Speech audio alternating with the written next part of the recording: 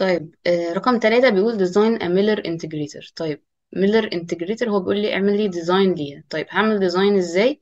هاجي أقول هنا ادي ده negative positive أنا شغالة integrator فال integrator أنا مدخلة ال input بتاعي على ال negative اللي هو ال inverting واتفقنا ان أنا عندي هنا مقاومة اسمها R وعندي هنا capacitor تمام اللي هو ال C طب ادي C وادي R وادي هنا ده ال V in وادي ده هنا ال V out تمام؟ طيب ده كده بالنسبة لل integrator بتاعي. هو بيقول لي اعملي design أنا رسمت الرسمة إيه اللي بقى ناقص عندي؟ هو بيقول عندي آه، مدينا unity gain frequency ب 10 كيلو rad per second يعني مدينا الأوميجا. تمام؟ وبيقول لك عندك input resistance ب 100 كيلو. يعني هو مدينا ال R هنا ب 100 كيلو اوم تمام؟ طيب بعد كده بيقول لك sketch ال output خلينا في أول مطلوب اللي هو ال design أنا دلوقتي عملت كل حاجة إيه المجهول اللي عندي بس الوحيد السي؟ طيب هجيب ال C إزاي؟ هكتب القانون بتاعي. القانون بيقول ال gain بيساوي واحد على omega R C طيب في معلومة بس هقولها لما يقول لي Miller integrator فده كده معناها إن ال gain بتاعي هيكون بيساوي واحد.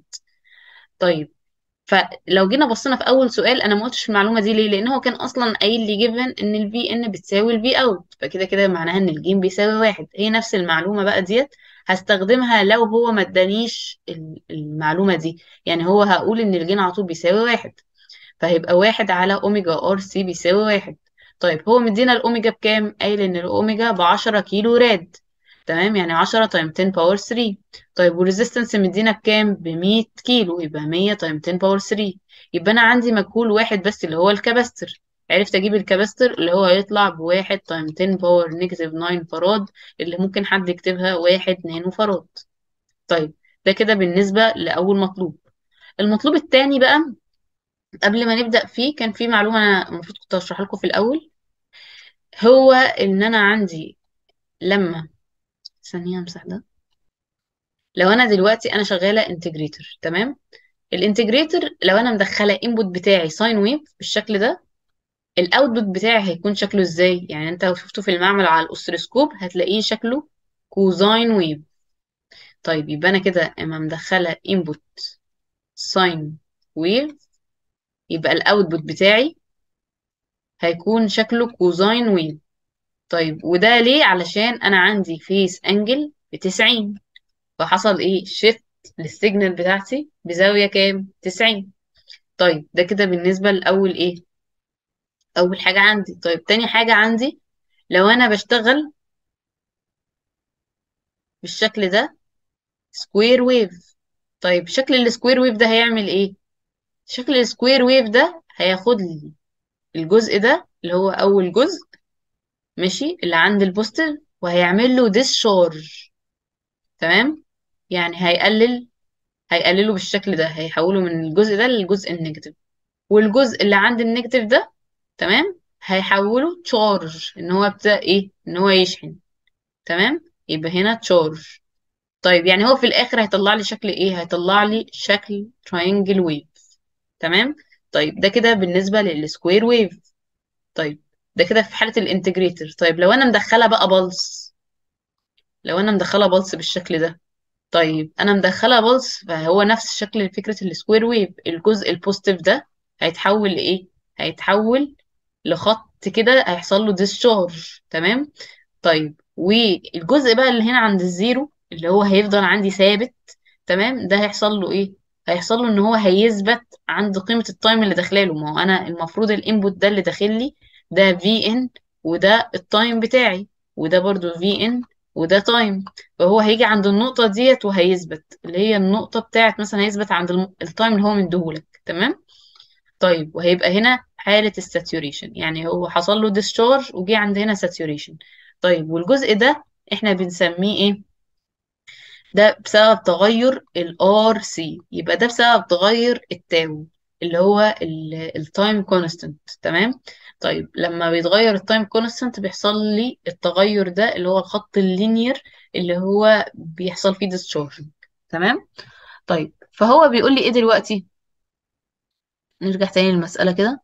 طيب هو بيقول عندي هنا إيه؟ بيقول عندي sketch ال output عايز أرسم ال output لما هو ما يكون مديني ال output initially عند 0 فولت يعني لو ما حصلش أي تغير ال V out هيبقى قيمته عند الصفر تمام؟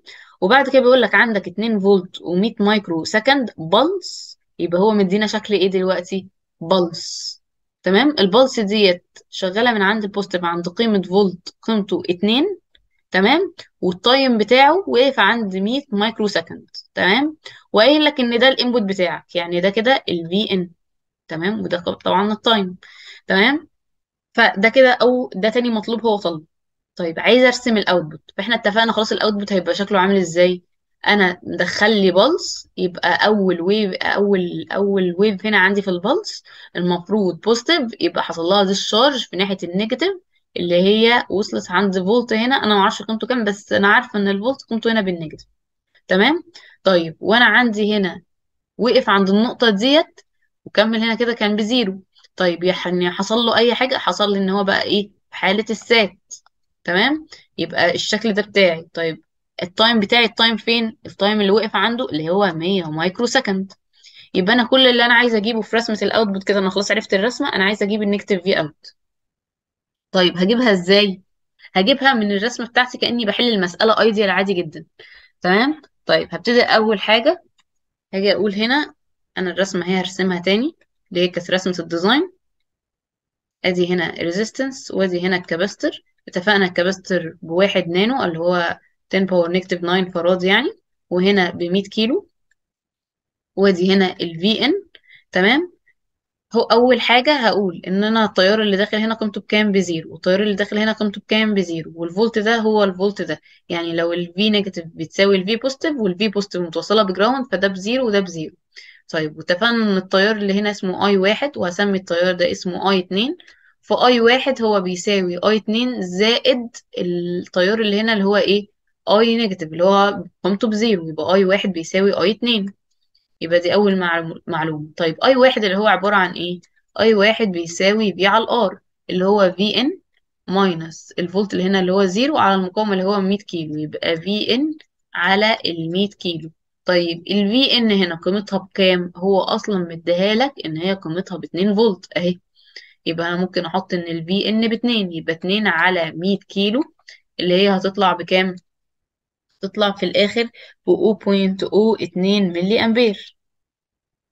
طيب أنا بجيب ليه كده ال I واحد؟ هنشوف بعد شوية. أنا عايزة أجيب قيمة ال V out تمام؟ طيب فهاجي أجيب I 2 I 2 اللي هي عبارة عن إيه؟ V على ال R برضو. طيب بس أنا عندي هنا capacitor فهنخلي بالنا ال V هتبقى 0 minus ال V out اللي هي negative V out على ال capacitor إحنا اتفقنا مش هنقول على ال capacitor هتبقى واحد على ال C كل ده بدلالة إيه؟ بدلالة ال time ما ننساش فكده معناها إن ال V out هتساوي negative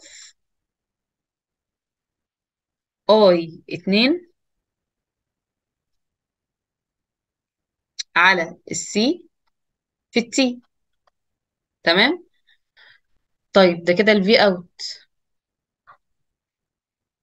طيب ال V أنا كده ال I عندي قيمتها ولا لأ؟ عندي قيمتها بكام؟ ب 0.02 ملي امبير وال C أنا عندي قيمتها ولا لأ؟ عندي قيمتها اللي هي 10 power negative 9 طيب وال T هو مدينا قيمتها بكام؟ ب 100 microsecond فهضرب في 10 power negative 6 وهنا هضرب في 10 power إيه negative 3 كده جبت ال V out طلعت ال V out في الآخر بسالب 2 فولت. فلما أجي احطها هنا تبقى كام؟ بسالب 2 فولت.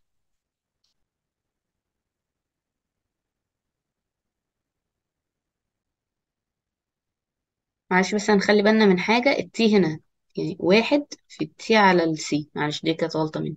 فهي واحد في ال T على ال C اللي هو التغير في ال time. واحد على ال C في ال T يعني. تمام؟ طيب ده كده بالنسبة للإيه؟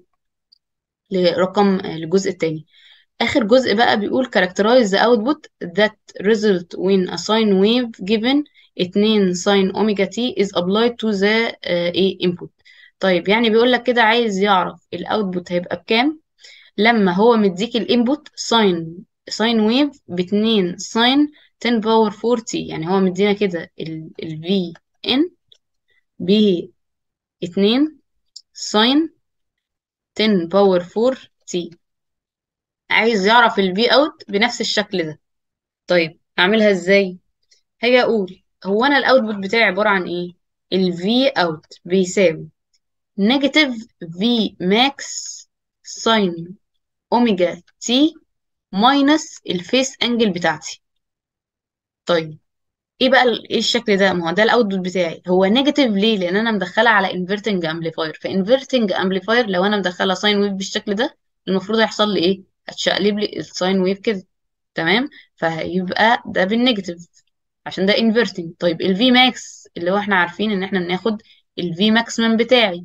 طيب sine omega t الاوميجا اللي هو مديها لي هنا اللي هو 2 sine 10 power 4 t فهو مدينا هنا ده الاوميجا تمام؟ يبقى أنا عندي الاوميجا كده أنا عرفتها ان هي 10 power 4 طيب وال phi دي اللي هي ال phase angle اللي أنا عارفة ان أنا عشان اشغلها integrator هتبقى بكام؟ ب 90 يبقى أنا محتاجة أجيب إيه؟ ال V max بتاعتي. طيب ال V max اللي هو عبارة عن إيه؟ هكتب آم، هكتب القانون.